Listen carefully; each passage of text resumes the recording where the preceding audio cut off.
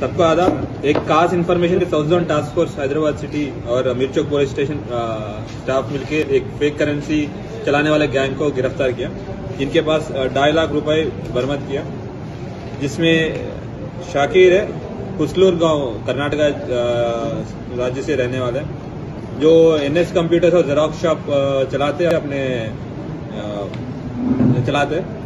इन्होंने प्लान बनाया एक फेक करेंसी पैसे ज़्यादा कमाने के लिए फेक करेंसी नोट्स जो सौ सौ, दो सौ, पाँच सौ और दो हज़ार नोटों को चाप चाप के पैसा ज़्यादा कमाने का प्लान बनाया था। उसके लिए अपना रिश्तेदार है, उनका उनका रिश्तेदार अनसर, जो लातूर ज़िले महाराष्ट्र से रहने वाला, उनका हेल्प लिया था।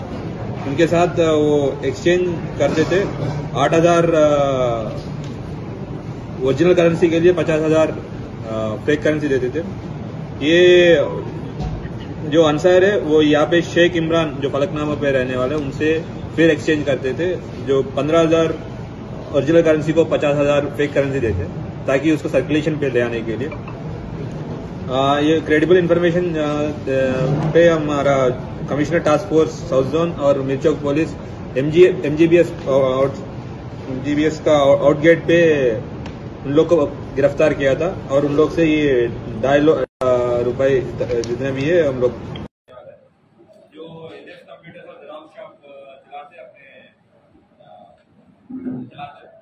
इन्होंने प्लान बनाया एक फेक करेंसी पैसे ज़्यादा कमाने के लिए फेक करेंसी नोट्स जो सौ